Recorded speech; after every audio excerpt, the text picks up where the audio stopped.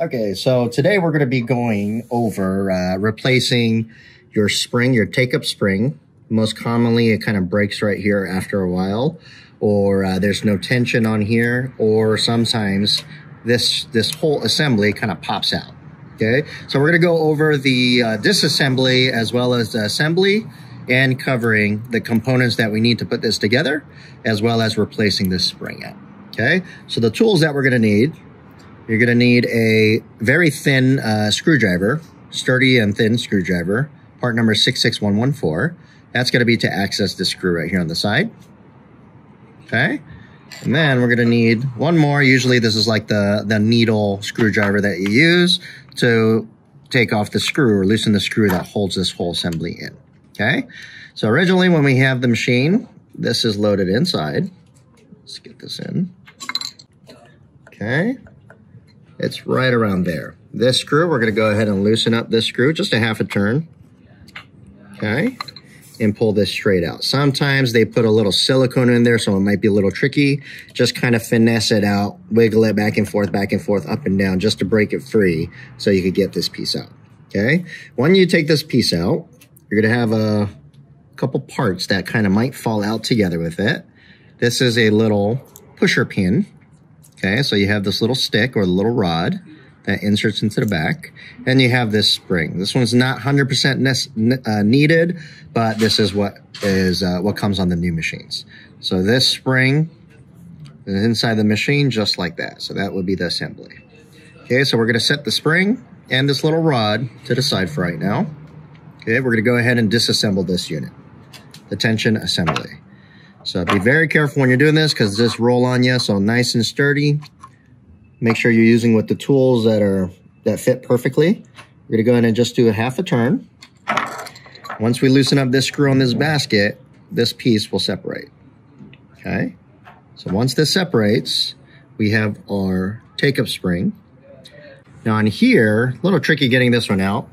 But with the with the basket in my right hand, I'm just gonna lightly get the inside. We're trying to flip this spring, this coil spring, inside out right now, just to, to get it out. So we're gonna kind of lightly pull this out and we're just trying to flip this coil.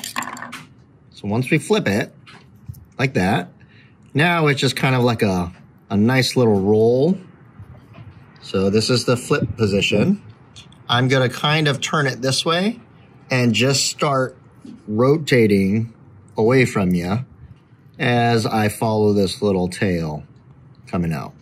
Okay, one more time. So the tail goes in and I'm just going to roll back the opposite way and it just kind of slide, starts sliding right on in.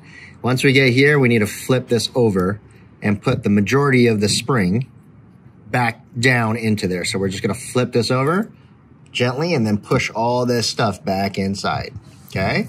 So once we flip it out, we're just going to kind of, it's kind of like a barrel roll, I would say. We kind of just barrel roll while we're getting it outside of this spring. Wish there was an easier way I could explain that, but there isn't.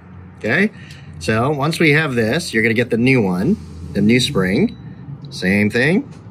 We're going to put the pigtail or this little, this little point in the hole first.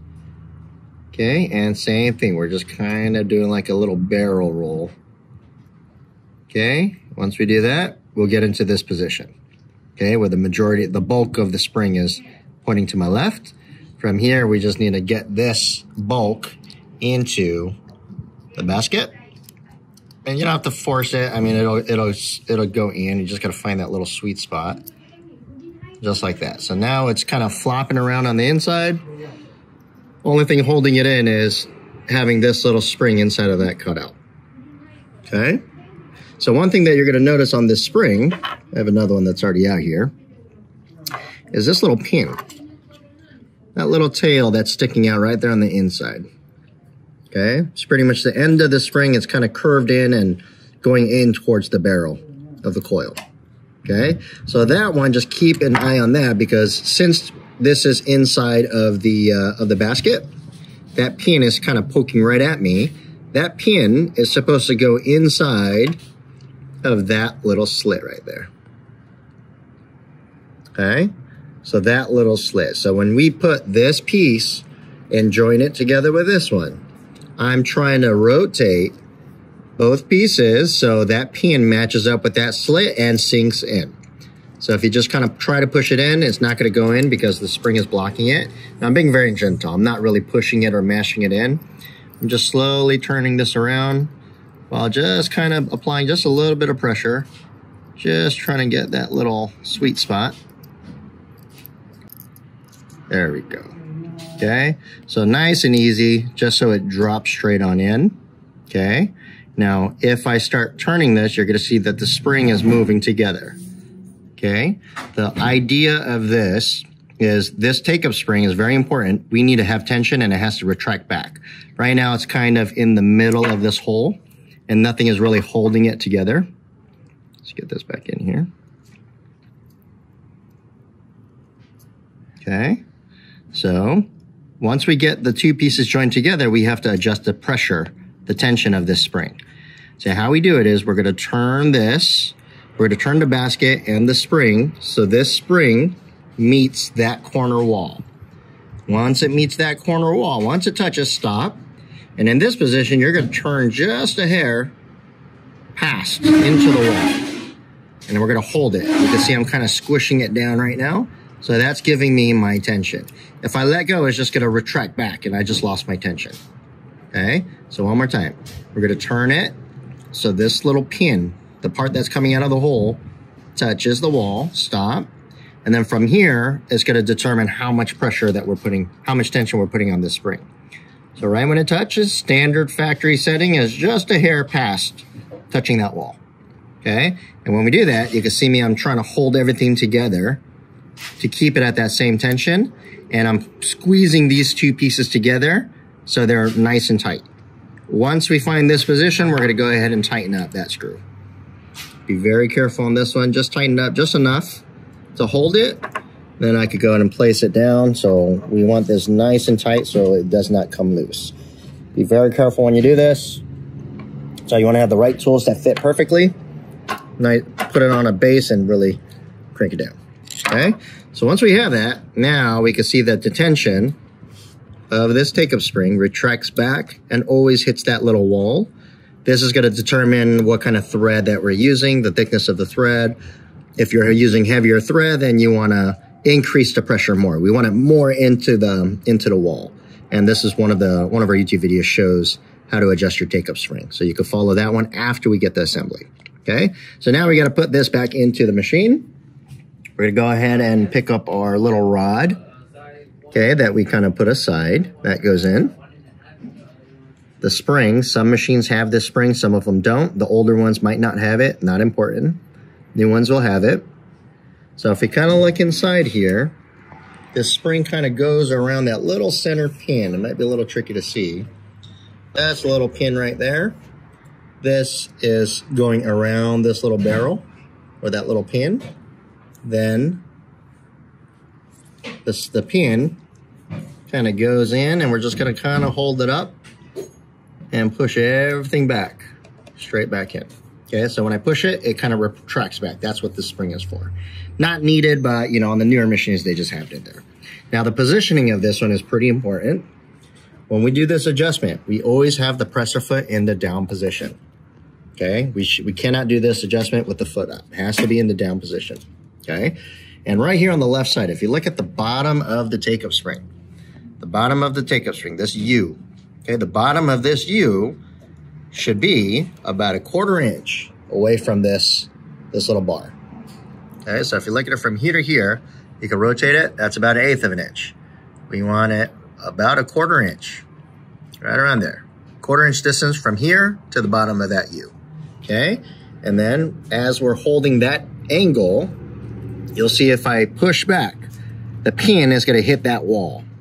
When it hits that wall, if I keep pushing in, it's gonna open and release my tension discs, okay? I want to touch that wall, and then once I feel contact, don't push it in because it's opening up the disc. Once I feel contact, you're gonna pull it back just a hair. Just a hair, about a millimeter, okay? Just a hair, and while we're holding it, we're gonna use our needle screw screwdriver and just tighten up this screw right here, holding the whole assembly in place. Make sure this is nice and tight so it doesn't pop out on us.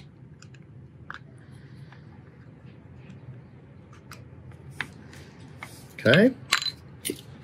So the main thing we're checking after we have this set in, the quarter inch distance between the bottom of the take-up spring to the bracket. And when I start lifting up my foot, I don't, right when I lift up this lever, I don't want to see this opening up and releasing. Okay. That's why we give it that little space. So when I lift up my foot, it's not really opening the, the disc right away. We want to make sure there's tension while we're sewing and give it a little pocket for when we lift up the foot and then it's and then it opens after that we cover that little open gap that we made okay so this is the correct setup on um, changing your take-up spring these break on a regular basis okay or this whole basket the take-up assembly sometimes comes out because this screw is not tight it's dirty, you're cranking it down and you pull this, it separates from the basket and the inside post.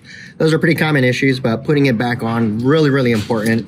Um, you know, anything related to tension or this area, it, co it covers probably about, I'd say 40 to 50% of service calls that we kind of get on a regular basis. And it's related to this either it was pushed in all the way and there's no tension. So what do they do? They crank this down thinking it's going to give them tension when it doesn't.